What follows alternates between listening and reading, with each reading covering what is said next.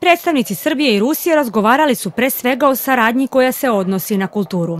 Iako se ne očekuje da bi naš grad uskoro mogao da dobije Ruski kulturni centar, i ambasador Rusije i gradonačelnik se slažu da je tako nešto ovde potrebno.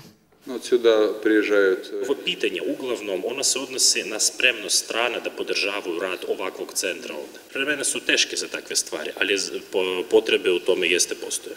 Teme sastanka osim kulture bile su i saradnja u oblasti privrede, kao i spoljna politika i zajedničko rešavanje problema koji postoje. Govorimo i o potencijalnim mogućnostima e, kompanije iz Rusije koje rade ovde, pre svega mislim na e, Lukoil, recimo pominjemo Lukoil smo pomenuli, neke probleme koje ovde postoje da trebamo da rešavamo i druge ruske kompanije koje rade na našem tržištu. Mislim da privredna saradnja jeste, ona ima budućnost i perspektivu u Srbiji.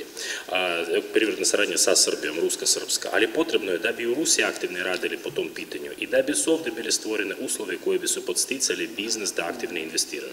Ali ovde još uplitaju se i spoljnopolitički čin, čimbenici, faktori, recimo, koji apsolutno se ne tiču privrede, ali nažalost tako jeste, na primjer sa južnim tokom. Kad mi vidimo ova teška vremena u trenutnim uslovima, kada su velike probleme i ne samo za Rusiju za Evropu, a posebno sa izbeglicama, potrebno što više razmišljati o tome šta možemo da uradimo neposredno mi. Bolje da se trudimo da radimo, bolje da sarađujemo, više da proizvodimo i da pomožemo u stvari i bliskoistočnim narodima da srede stvari tamo kod sebe e, u njihovim zemljama, da bismo mogli na takav zajednički način da živimo ovde bolje.